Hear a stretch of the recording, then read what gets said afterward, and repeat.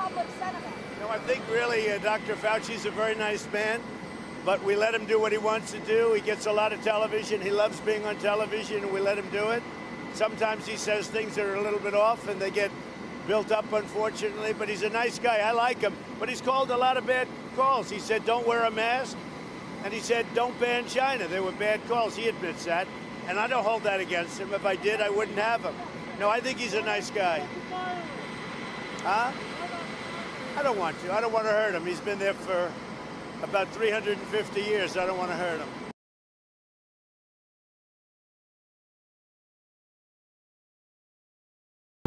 We break news on YouTube for YouTubers.